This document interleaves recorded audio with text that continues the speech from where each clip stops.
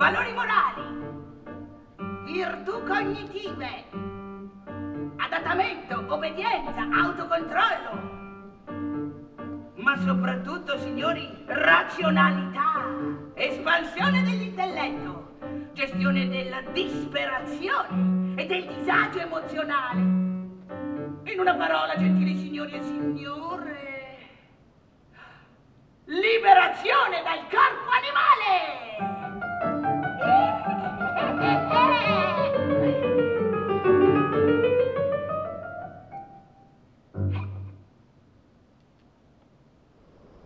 L'animale non è l'animale, è una metafora. Anche l'animale di cui mm, penso io di parlare in questo spettacolo siamo noi, è una parte di noi. Il corpo animale è un problema, mm. perché non è adatto, signori, a custodire i valori della nostra civiltà. Ed è per questo motivo, lo sappiamo, che da millenni l'esercito della nostra volontà interiore presidia i confini del regno umano dall'assedio delle schiere anarchiche barbare di quell'animale. Eh, li sentite? Gli animali premono alla frontiera del nostro mondo. I confini sono luoghi di passaggio e luoghi di trasformazione. La trasformazione è un momento di crisi, sempre. Io fin da, da piccola nel mio viaggio di allieva nel teatro ho scoperto che eh, la crisi eh, contiene, contiene un, un, un cuore poetico. Lì c'è qualcosa di profondamente umano vicino a noi. Um, c'è sempre qualcosa che, che, è quasi indicibile, ma che vorremmo tanto che fosse detto di noi. È quando noi mutiamo o uh, ci trasferiamo no? Da un luogo di noi stessi ad un altro, che succede qualcosa ehm, di poetico. Ah, wunderbar! Certo, io sono una scimmia. Sono un animale. E per gli uomini, gli animali devono stare rinchiusi in una gabbia. Ecco, ecco la via di fuga, la via di scampo, signori. Io avrei smesso di essere quello che sono. Ovviamente per me poetico è ciò che è più possibile sacro dell'umano. Quindi l'animale e l'uomo um, è il passaggio, il, il, diciamo, il, il il patteggiamento costante e continuo che io faccio tra me, me autentica, me voce autentica mia, profonda, che sta nel corpo, in quello che sento, e il mondo, e la mia relazione col mondo. Entrambe queste dimensioni sono indispensabili alla mia sopravvivenza e in questo patteggiamento, no? Sta secondo me, eh, cioè nella qualità di questo patteggiamento sta secondo me la felicità.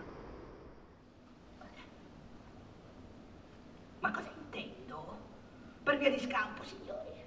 A scaso di equivoci vorrei chiarire che non intendo libertà.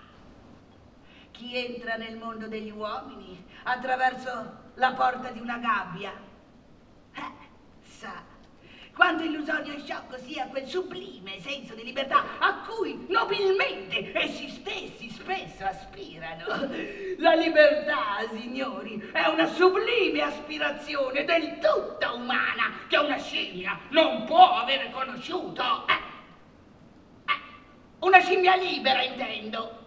Eh, quale potrebbe essere la sua libertà?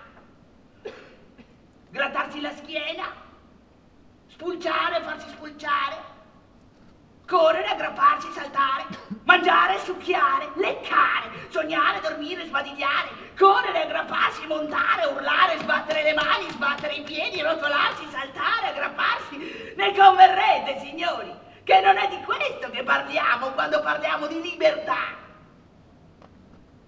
Questa scimmia diventa attore del varietà, io lo spingo un po' oltre Kafka e dico anche proprio intrattenitore, buffone, no? full.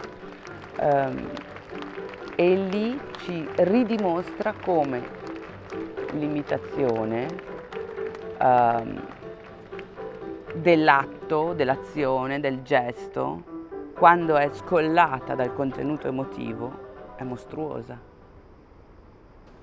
Il. È ovvio, era quello il mio destino, signori, il varietà. E fu così che imparai Ah, come si impara, signori, quando si deve imparare. Si impara disperatamente, si ruba la frusta al padrone, ci si sorveglia da soli, ci si strappa la carne dal corpo senza opporre resistenza, signori. E lì la mostruosità di questa, di questa scimmia. La sua mostruosità non è nei movimenti, non è in questa voce sgraziata, non è in questo impaccio costante, no? Che non sarà mai un umano come si deve. Ma la sua mostruosità non è lì. La sua mostruosità è nello scollamento tra il pensiero, il linguaggio, le azioni e quello che sente dentro. Ecco il buffone maschera archetipica del teatro che fa esattamente questa cosa qua. Sua Maestà, Sua Maestà, Sua Maestà, Sua Maestà, Sua Maestà, Sua Maestà, permette un indovinello? Cosa hanno in comune uno schiavo nero in catene, una cassa d'oro in catene e una stupida scimmia in catene? Brava, Sua Maestà, le catene! It's a joke! It's a joke! La comicità eh, e il teatro popolare eh, sono legati, ma sono legati perché il teatro popolare ha una matrice sovversiva. Se non ce l'ha, non è teatro popolare. È... non è. Eh? Ecco, que queste cose qui devono essere ben chiare quando si lavora sulla comicità nell'ambito del teatro popolare. Eh, non è eh, rassicurante la comicità la comicità è liberante e la libertà fa paura.